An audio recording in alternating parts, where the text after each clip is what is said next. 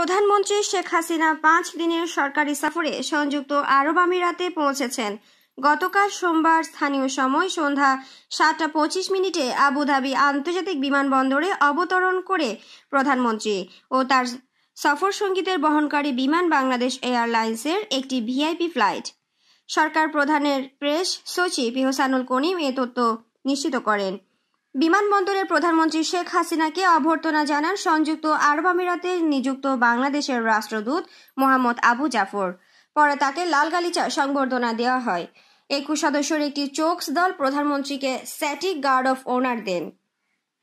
পররাষ্ট্রমন্ত্রী এ কে আব্দুল মোমেন, বাণিজ্যমন্ত্রী টিপু মুন্সি প্রবাসী কল্যাণ ও বৈদেশিক কর্মসংস্থান মন্ত্রী ইমরান আহমদ, প্রধানমন্ত্রীর বেসরকারি শিল্প ও বিনিয়োগ বিষয়ক উপদেষ্টা সালমান এফ রহমান এবং মহিলা ও শিশু বিষয়ক প্রতিমন্ত্রী ফজিলাতুন্নেসা ইন্দিরা প্রধানমন্ত্রীর সফর সঙ্গী হিসেবে রয়েছেন।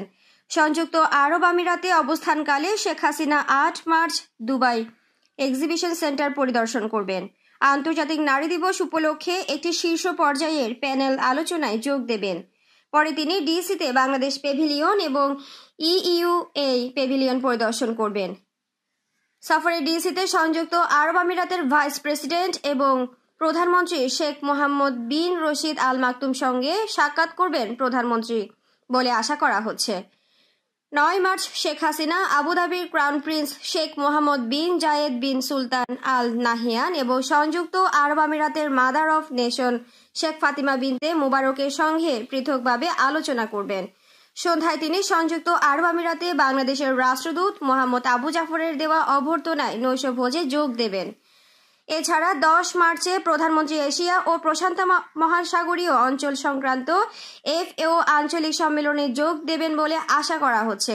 সন্ধ্যায় সংযুক্ত আরব আমিরাত ও বাংলাদেশের ব্যবসায়ী প্রতিনিধি দলের উদ্যোগে যৌথভাবে আয়োজিত বিজনেস ফোরামে যোগ দেবেন।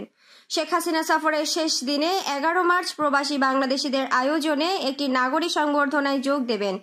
এছাড়া তিনি রাস আল খাইমায় Bangladesh English private school and কলেজের বঙ্গবন্ধু শেখ মুজিবুর রহমান ভবনের ভিত্তিপ্রস্তর স্থাপন করবেন। বারোই মার্চ প্রধানমন্ত্রী বিমান বাংলাদেশ এয়ারলাইন্সের বিজি এক তিন শূন্য দুইয়ের একটি বিশেষ ফ্লাইটে দেশে ফিরবেন বলে আশা করা হচ্ছে। Desk report, PIB Ekattor TV.